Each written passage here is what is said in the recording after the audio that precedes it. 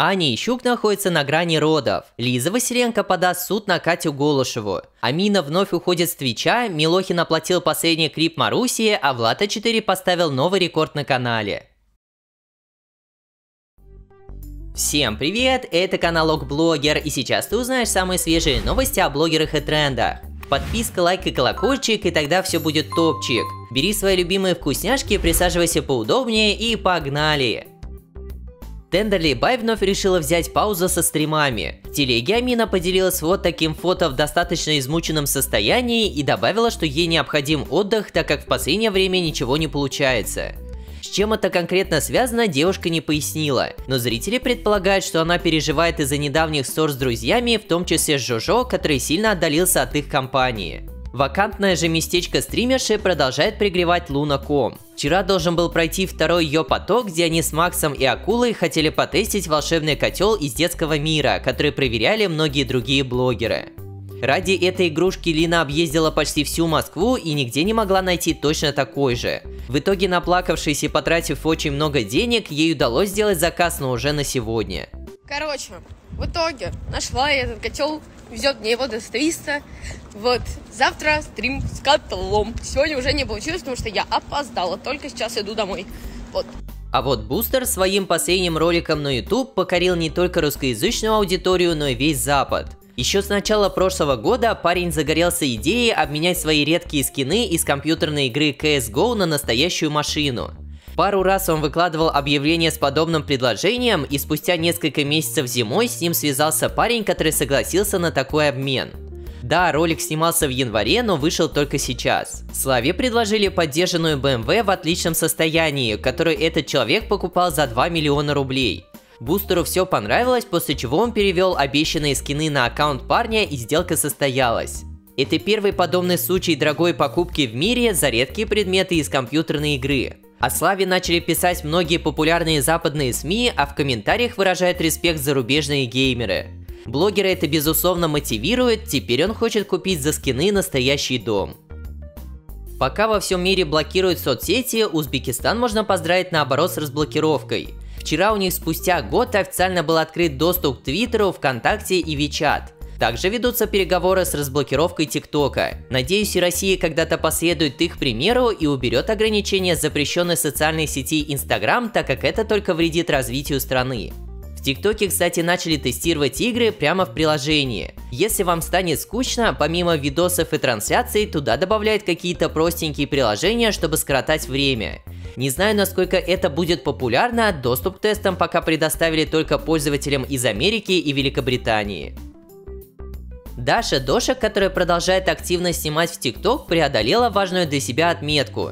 Вчера ее аккаунт набрал 20 миллионов подписчиков, о которых она мечтала еще с конца прошлого года. Даша поблагодарила зрителей за поддержку и пообещала стараться над контентом еще больше. А Вали Карнавал «Старайся, не старайся над видосами» все равно аккаунт заблокируют. Буквально пару дней назад ее профиль улетел в бан после публикации безобидного ролика. Модераторы быстро все вернули, но часть контента снесли. Вчера же без какой-либо причины страницу вновь заблокировали, и это уже похоже на массовые жалобы хейтеров, а не просто ошибки алгоритмов. Поздравить с рекордом, но уже на ютубе можно Влада А4. Вместе с командой за прошедший месяц они набрали 686 миллионов просмотров, что является лучшим результатом за всю историю канала. Тут, конечно, сыграл фактор лета и практически отсутствие сейчас конкуренции из-за отключенной монетизации. Но парни в любом случае молодцы и желаем им дальнейших успехов. Ветерфорк уже вторую неделю находится в большом путешествии, которое затронет многие страны мира. И в процессе у него невольно возникают забавные ситуации с местным населением. Так в Испании всех сильно позабавило его имя, особенно при заказах в кафе. Один из бариста, мило улыбаясь, рассказала, что в их языке она используется во фразе «давай займемся этим», чем часто пользуется молодежь в клубе. Именно поэтому любое упоминание темы вызывает у испанцев неловкость и стеснительную улыбку. В рабочее путешествие скоро отправится и Моргенштерн. Пока у него нет возможности выступать в России, Алишер анонсировал небольшой тур по городам США. С концертами рэпер побывает в Нью-Йорке, Л.А., Сан-Франциско, Сиэтле, Денвере и Майами. Там как раз будут впервые представлены треки из последнего русскоязычного альбома, и один из них Морген собирается записать в прямом эфире. Ему пришла мысль вспомнить времена легендарной пыли и показать весь процесс зрителям. А в своем сообщении Алишер использовал местоимение «мы», поэтому многие надеются, что к нему приедет Слава Мерлоу, чтобы ностальгия в этот раз прям зашкаливала. Стримером собирается стать Дина Саева. Девушка поделилась фотографиями в своих новых геймерских наушниках и поинтересовалась у аудитории, как они на это смотрят. На ее желание наверняка повлияла тусовка Амины, так как последние две недели она много времени проводит с ними. На фотках же Дины, в особенности девочки, разглядели что-то непонятное с ее бровями. Кто-то там увидел монополоску, другим просто не понравилась их форма. Почти все комментарии забиты подобным содержанием. Но если кто-то не в курсе, блогерша специально их не выщипывает, так как решила устроить небольшой эксперимент. Ночные мысли не дают покоя, и я решила с этого дня не трогать свои брови, потому что мне стало дико интересно, как они себя поведут. Естественно, есть а, вероятность, что я могу сорваться. Это имеет место быть. На связь впервые за последние два месяца вышла Лиза Василенко. Она вновь погрузилась в какую-то депрессию, появилась апатия ко всему происходящему. Но недавно все начало нормализовываться, она даже завела собаку, которую назвала коротко Лу. Больше всего просили дать комментарий по поводу нового клипа Кати Голышевой, где она высмеяла ее, Алишу и Ренату за публикацию контента на сервисе OnlyFans.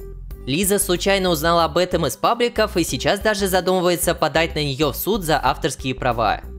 Это очень смешно наблюдать за этим, потому что на самом деле я с Катей не знакома лично. Я никогда с ней не контактировала, мы не общались. Чем я и так перешла дорогу, что она так меня не любит. Я к этому никак не отношусь, потому что у меня, мне абсолютно все равно на нее. Но я же могу на нее в суд подать за авторские права. Поэтому над этим будем думать. На фоне всех косяков Дани Милохина у него есть и много добрых поступков, которые он даже не выносит на публику. После недавнего выступления Маруси у нее взяли небольшое интервью про ее новый трек «Пазлы». Молодая артистка раскрыла, что не планировала снимать на него клип, так как это как минимум дорого. Но на съемках настоял Даня, решив даже оплатить все расходы. Как клип вообще не планировался, вот сейчас я раскрою все тайны. Ко мне подбегает Милохин и говорит, надо снимать клип. Я говорю, хочу или нет смысла. Он сказал, все, мне плевать, мы делаем, я все оплачу. И весь клип оплатил Милохин. Димас продолжает заглаживать вину перед Даней из-за их недавней ссоры. Он даже придумал интересную игру, чтобы поднять ей настроение перед родами. Парень вручил жене небольшой мешочек, где есть несколько сюрпризов. Первым она достала вот такую бумажку с непонятным рисунком и оказалось, что это был салют, который они вместе запускали прошедшей ночью. Организм же Ани начал давать сигналы, что она уже вот-вот родит. Резко пропал аппетит, да и в целом начала ворочить от еды, и обычно такое происходит за 4-5 дней до появления малыша на свет. Что из последних новостей, блин, меня уже дней 6 просто воротит от еды, я не могу есть, меня очень сильно тошнит.